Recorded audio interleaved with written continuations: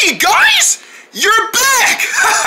you guys are back! Welcome back, guys! Molin is back in a new adventure that takes all the other owls on a big flying mission. As we learn about the continuance of Molin and how he has a big tough challenge with a new villain, Kontiji. Molin the Owl.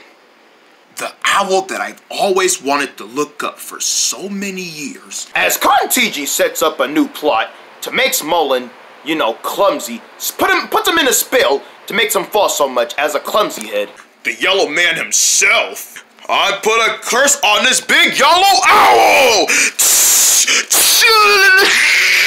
After ruining his life all the time, so with the help of his owl friends, with some Hootie Foe missions, this is gonna take a big, big, big effort on how do we get Molin to stop falling on the ground so much? Oops! Uh, Molin, I think you might need to go see someone to help. No, no, no, no, Molin! Why would I need to go someone to help when I got some alley friends right here who's been by my side for like a minute or so? You know, you can never deny that.